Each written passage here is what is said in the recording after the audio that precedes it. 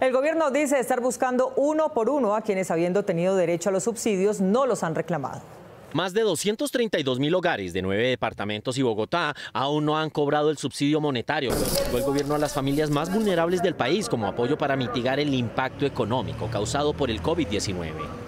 El departamento del Valle del Cauca es el que menos cobros de ingreso solidario presenta, pues mantiene los recursos para 25.514 hogares y según Prosperidad Social, las transferencias económicas se han dificultado por la falta de bancarización. Desde la semana pasada, todas las direcciones regionales de prosperidad social, con el apoyo de las alcaldías, madres, líderes y juntas de acción comunal, iniciaron la búsqueda activa en los municipios del país de las familias beneficiarias del subsidio.